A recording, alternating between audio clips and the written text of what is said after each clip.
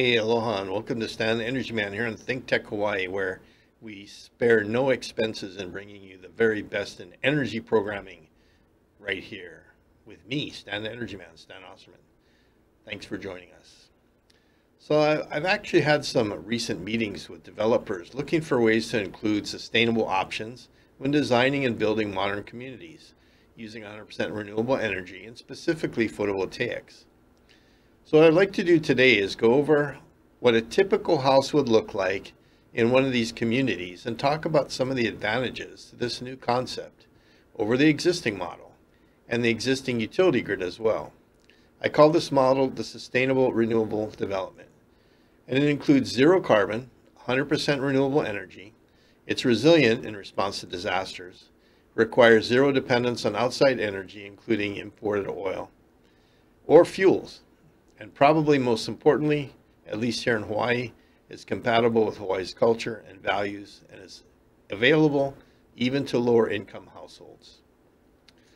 First of all, you have to understand that not all energy is the same, but it is convertible and storable. Making these models a reality will require bold thinking and action by the developer and by the county regulators. But the need is real and the timing is right because currently Hawaii imports over 87% of its energy, mostly in the form of coal and oil. Our transportation sector is mostly powered by gasoline and diesel, and for that matter, even aviation fuel, but we'll save that for a later show. Which leaves Hawaii highly dependent on importing a great deal of petroleum-based fossil fuel, even for our electric grid. Electric energy is very efficient, but infrastructure for delivering that energy is what I would call Jurassic, really old. It requires high voltage lines strung hundreds of miles over mountains. Many of those lines with they're vulnerable to trees falling or branches falling on them during a storm. These long transmission lines require boosting of voltage and reduction of voltage along the way, depending on where they're at, whether they're coming into a community or being pushed a long distance and that requires transformers and substations containing equipment that would best be described as hazardous, not only to work on, but containing hazardous materials. On the transportation side of the equation, electric vehicles are powerful and efficient, but energy storage is, and always has been, a challenge. In addition, a high percentage of our electric vehicles are being recharged off Hawaii's grid, which is predominantly fossil fuel generation.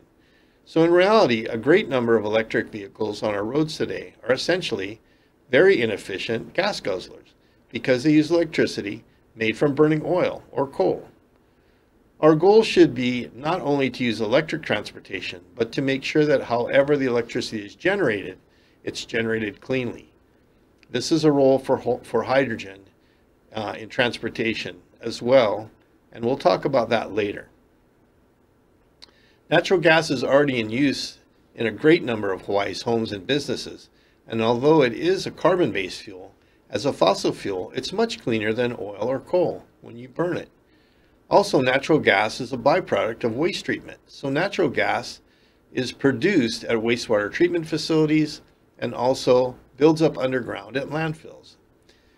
And the experts tell me that if all of our wastewater systems and landfills could provide could uh, be put into service, it would provide about 12% of the required cooking gas needed in our state.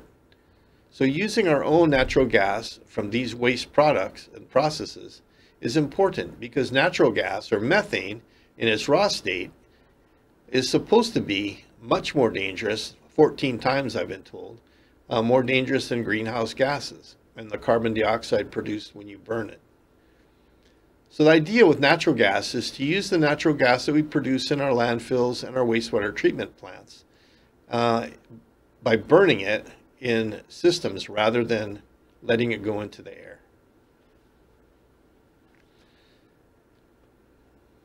So hydrogen fits dramatically into not only the grid and vehicle transportation, but also into that transition into making our natural gas even cleaner and more viable. We'll discuss this as we press ahead. I'd like to begin with some numbers to give you an idea of where you could start in calculating your own ideal little microgrid or community And this would work for a single family home or for even a community of folks who want to get together. These numbers are general and can be refined, but they represent typical values here in the state and give you a starting point. We have a mild climate here, and it's all year long. And other geographical advantages not found in places farther north of the equator, where you have, you know, frost lines and heavy snowfalls and short days in the wintertime. But you could take these numbers and adjust them for your own local region. For starters, the average single family home in Hawaii uses between 20 and 30 kilowatt hours of electricity per day. Also, the typical day would give us about five hours of sunlight for a typical photovoltaic panel. In other words, a typical 300 watt panel on the south facing roof would produce about 300 watts for five hours out of a 24 hour day. It may produce a little more or a little less depending on how much shading is happening, uh, being provided by mountains or trees or just clouds going by. A typical photovoltaic panel of about 300 watts of power covers about 15 square feet of area. So for planning purposes, you need to be practical about how many panels you can actually put on a typical single family roof and how much power is realistic from a home size or multi-home development. Another handy number that we use in Hawaii is the average driver commutes about 40 miles a day, and that gives us a number to work with for transportation calculations. When it comes to making hydrogen, we use this formula uh, that we, we use this formula of 60 kilowatt hours of electricity to make one kilogram of clean hydrogen using electrolysis to split water into hydrogen and oxygen. This is important because a lot of times you buy when you buy hydrogen, it's actually steam reformed methane, which is good if you're getting rid of natural methane, but not good if you're just using natural gas and turning it into hydrogen. Typically, when electrolyzers are used, the oxygen is just released into the atmosphere. But that oxygen could very easily be captured for industrial use, like welding or even medical use in hospitals, because oxygen comes off the proton exchange membrane electrolyzer is medical grade Hydrogen can also be produced from methane, but it's not as clean as hydrogen that comes from an electrolyzer and splitting water. But remember that we have that 12% methane we need to turn into clean fuel, and this could be an option to make uh, steam reformed hydrogen. Another thing to consider with natural gas is that hydrogen can be mixed in natural gas to boost the energy available for the customers. It also, it's also worth noting that natural gas industry is looking into hydrogen as a potential follow-on to methane and propane to become a fossil fuel-free gas provider. The reason the gas industry is working at the incremental pace towards 100% hydrogen is due to several factors. First and foremost, there's an abundance of natural gas already, ensuring that the price of natural gas will stay low for several years and possibly even a decade or two. On the engineering side, there are other considerations. The use of pure hydrogen in high pressure and high temperature equipment, uh, including pipelines, can cause embrittlement to components and can contain a lot of iron in their metallurgy, like in existing pipelines. So currently the gas industry limits its pressurized pipelines and most of the equipment that runs off of its natural gas to 15% hydrogen mixed in with its natural gas. But scientists and engineers are working to determine how best to convert existing infrastructure to be able to hire, uh, you handle higher and higher gas percentages of hydrogen mixed into natural gas. So if we take the numbers I just talked about and try to turn them into a practical example, we can say that it takes approximately 20 photovoltaic panels and 300 square feet of roof space to make 30 kilowatts of electricity every day for the typical single family home. When, at, when you actually drive around our neighborhoods, I noticed that the actual number of photovoltaic panels range between 12 and 25. I can only assume that houses with 25 or more panels probably uh, have charging electric vehicles they have to account for, um, which requires an awful lot of energy. Cars and transportation require a lot of energy. So if you're thinking about doing it on your house, you have to take that into account if you're planning on an electric vehicle in your future. Or they may also have uh, central air conditioning or other appliances in the house that have a heavy electricity draw. So let's say we're making 30 kilowatt hours of electricity every day with our 20 photovoltaic panels, and hopefully just a little bit more so we can make some hydrogen at the end of the day when we're done charging our batteries. But just like other electric cars, hydrogen fuel cell cars require quite a bit of energy to run. The typical electrolyzer needs 60 kilowatt hours of energy to make one kilogram of hydrogen. And this one kilogram will literally take several days of surplus energy to come up with with our existing model. That one kilogram could add, if you wanted to make more than one kilogram a day extra, you could add more panels to ensure that you get more hydrogen, just like the folks who have more panels to charge their electric cars or take care of other appliances. So as I said, the typical car use, we used to tra we travel here about 40 to 50 miles a day. And the typical electric car would probably require 40 kilowatt hours, 50 kilowatt hours to go that distance. Maybe a little bit further. And hydrogen cars require 60 kilowatt hours to make a kilogram of hydrogen that will take them 50 or 60 miles. So you can see by adding more, uh, more uh, PV panels to your roof, and possibly even doubling it or tripling it, you could be making enough electricity to meet not only your household requirements, but all of your transportation requirements for plug-in vehicles or hydrogen fuel cell vehicles. So if your robust electrical uh, panels uh, are calculated into thousands of dollars and given a 20-year lifespan, then you can calculate your electric bill per month and your gasoline bill per month for your car and your natural gas bill if you have gas appliances and do the math and easily figure out whether you're better off on or off the grid. Just don't forget that prices of electricity, utility prices, and almost all other commodities are going up over time. But your investment up front is a known amount. And even if it's expensive, you can take out a loan at probably less than 4 or 5% right now and pay for it over time instead of paying those current gas bills and electric bills, which are bound to go up. By the way, I haven't included tax breaks or other incentives, which are also available in a lot of cases for electric vehicles. And I feel very comfortable betting that the price of fossil fuel and electricity will start to go much higher than it is today as demand increases for electricity and supply decreases of fossil fuels. Well, we're going to take a quick break here and be back in 60 seconds and we'll continue to talk a little bit more specifically about this model.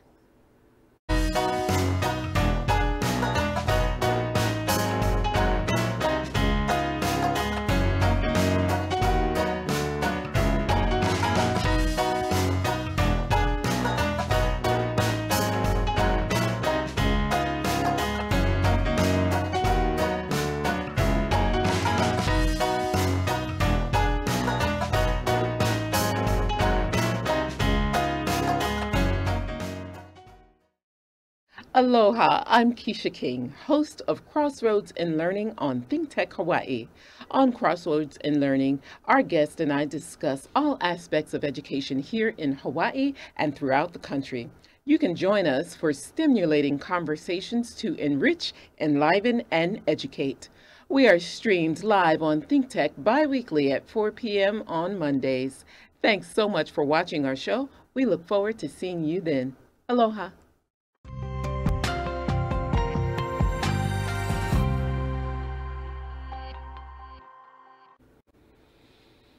So welcome back to Stan the Energy Man. Stan Osserman here, and we're talking about how the perfect, I'd say perfect house would be like in the future, maybe in perfect community, if we took hydrogen and flywheels and other things like that and incorporated them into our everyday house. So how does this system look in the in, in a real house? First of all, your solar panels make DC power, and the DC power would go directly to the batteries or to inverter, which converts your DC power into AC power that your house requires for most of its appliances, and even in your lighting.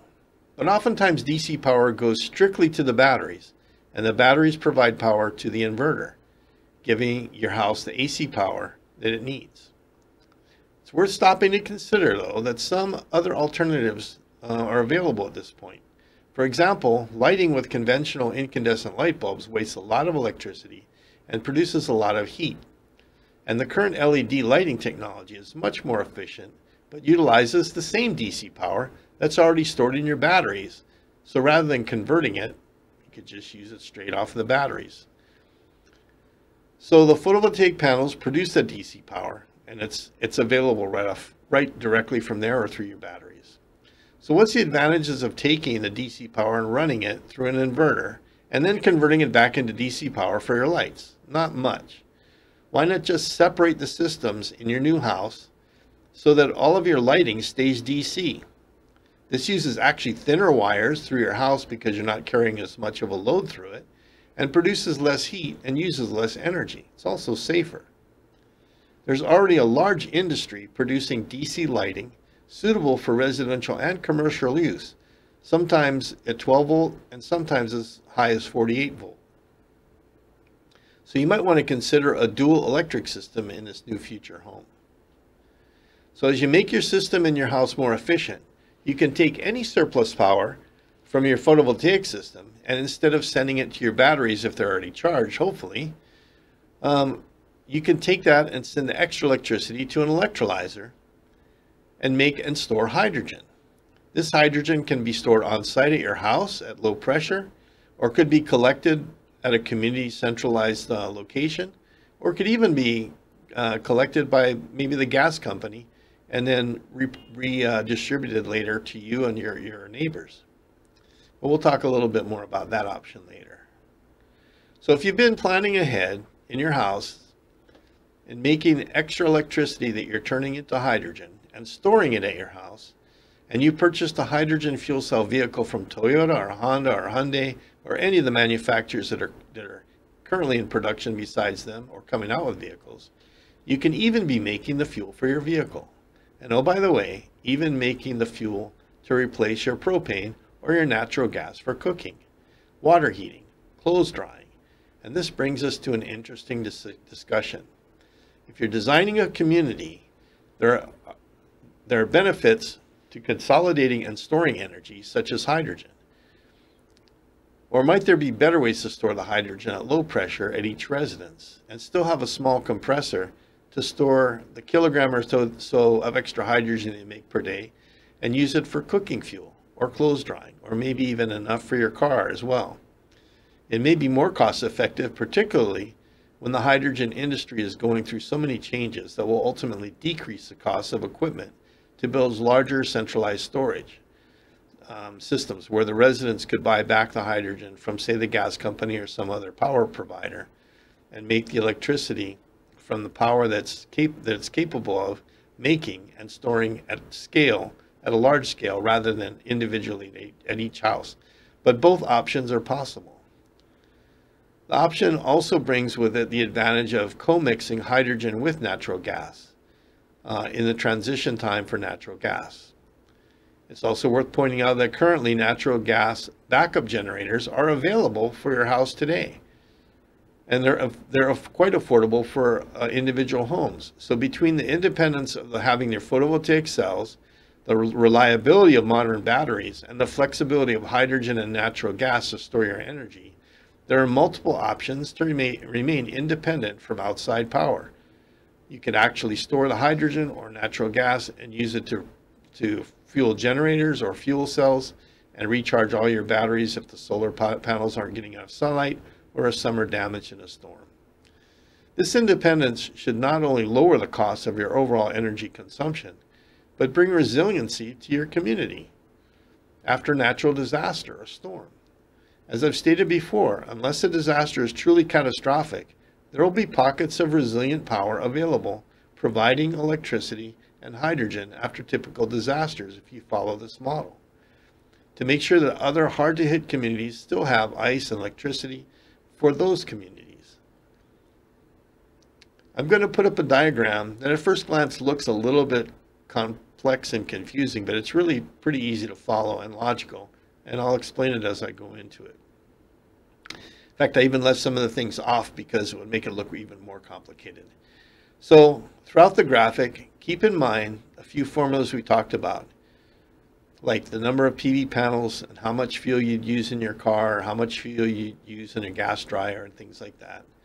To make sense of today for us to plan for communities of the future. So we'll bring up that diagram and let me talk a little bit about it. In the center of the diagram is your typical house. And that grid looking thing on top are your photovoltaic panels. So you'll notice there's two blue arrows, one kind of going off to the left and one going off to the right. The one going off to the left goes directly to batteries. The one to the right goes to an electrolyzer. So what happens that DC power goes to your batteries, and that's where you store your immediate energy you need right away to help your house uh, handle its, smooth out its own load, the way the electric company smooths out its load to your house now on their big grid. Your, your battery management and your um, control systems in your inverters will do that for you if you buy decent quality equipment. So DC power goes to your batteries. And then if you need AC power, you send DC power to the inverters and they send AC power to your house. On the right hand side, if you send DC power to an electrolyzer, you notice you also have water being input into that picture from the bottom right. You could be making hydrogen and little little note up in the upper right hand of that pentagon shows you can release oxygen either for sale or just release it back into the air and make your hydrogen and store it. So once it's stored, you can send the, the hydrogen uh, over to a stationary fuel cell. So you can actually charge your batteries when the solar panels aren't working from the stationary fuel cell, can charge your batteries. Or you can take that hydrogen, instead of sending it up and over to the left, you send it down and over to the center where you have um, you have the the option to take a generator that runs off of natural gas or hydrogen to make AC power to power your house and use the same AC power to run a battery charger to charge your batteries up again. So you can see how there's a great redundancy here on different ways you can manage the energy that you have in your system whether it's through a DC system only, through hydrogen as stored energy, through natural gas as stored energy, or through um, produced by the solar power, and everything is all self-contained. You don't require anything from the outside except possibly some water. So what you've got there is a really, really good example, just a quick example of what it can look like. And I hope this gives you a little better picture of how all this could work together. And I hope it encourages you to look a little bit closer about how you can gain independence and survivability in a world where energy demand is growing rapidly and fossil fuels are heading towards limited and expensive days ahead. It's really a pretty simple model. And I, I didn't want to go into things like the central storage and things like that, which requires, you know, an intermediate utility or a power provider to manage the hydrogen or manage the natural gas in a big community. But right now, it may be a better option to use a central storage system while the components for hydrogen are still a little expensive. And once the unit cost for household scale hydrogen electrolyzers and fuel cells drops down.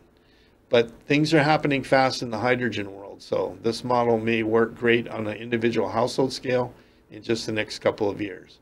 To give an example, the Toyota Mirai that people are driving now in here in Honolulu and in California, those vehicles have 114 kilowatt fuel cell in them, and 114 kilowatt fuel cell with five kilograms of hydrogen would run your house for three or four days, maybe even longer.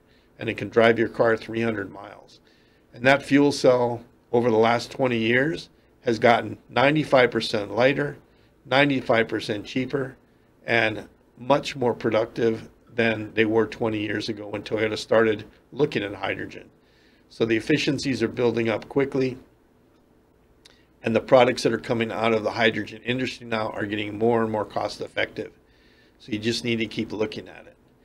But their options are there. If a big community wanted to pool all of their curtailed power together and sell that electricity back to a, a central management entity that runs that runs a community storage system for the hydrogen and maybe runs a community pool for the uh, natural gas, I, I, think you'd have a winning combination of 100% renewable energy all the way around. And uh, I think that's where we ought to be aiming. In fact, that's a stated goal of our state here is to be off, um, off fossil fuels in our grid by 2045. And I can tell you that's going to be tough to do without a plan using a model like this. And I think the transportation sector is underestimated when it comes to thinking about how our grid's going to be in the next 20 to 30 years. With all those vehicles, those plug-in electric vehicles on the road, that's an increase in grid power that we're going to need to account for as we're also trying to downscale into all renewable energy going into the grid. I don't think I don't think people realize how much energy is stored in the tankers and the and the pipelines that our electric company uses right now to keep Hawaii going day to day with all the power it needs. It's an incredibly huge amount of energy storage. And I can see our power requirements almost doubling in the next 30 years with transportation requiring more electricity. And we're going to have to find solutions that include a lot more hydrogen and possibly even some natural gas in the, in the middle to get us to 2050 and be totally clean and totally independent. So I hope you enjoyed um, looking at today's uh, example and getting some of those rules of thumb numbers um, to apply in your own life. And they're, they're pretty basic. And if you have a good basic understanding of electricity and you work with a professional contractor on your solar installation plus batteries, you're well on your way to some really good energy independence. And go look for those natural gas and propane generators that uh, can be used with gas appliances. And maybe just between your gas appliances and your solar plus batteries, you might be able to just pull yourself off the grid now. Anyway, that's it for Stand Energy Man this week. I thank you for joining me here in Hawaii, and we'd like to talk to you again. Join us next week, Tuesday at 3 p.m. Hawaii Standard Time, or catch us on YouTube. Stand Energy Man signing off. Aloha.